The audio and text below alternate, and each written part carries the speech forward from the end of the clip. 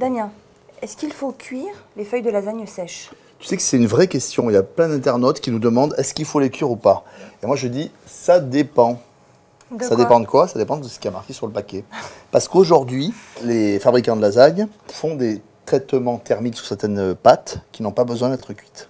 Moi, comme je suis très très très très feignant, d'une manière générale ou toujours très pressé, j'ai l'habitude de jamais les cuire. Parce que je les mets à cru.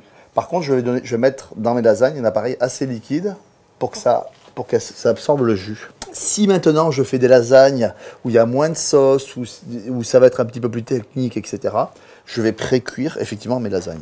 Donc là, j'ai de l'eau bouillante salée. Là, je mets un tout petit peu d'huile pour pas que ça colle éventuellement. Et je vais mettre mes feuilles de lasagne une par une.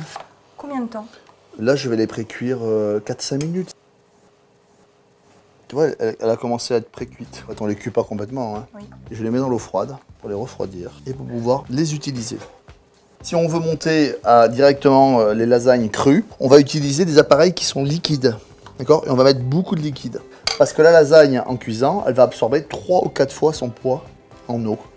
Les pré-cuire avant, ça rajoute du boulot. Moi, dans ma cuisine familiale, ben, je, je préfère, je suis toujours un petit peu pressé, donc euh, je mets tout ça comme ça, et puis euh, c'est peut-être 10 minutes de plus au four, mais tout va bien.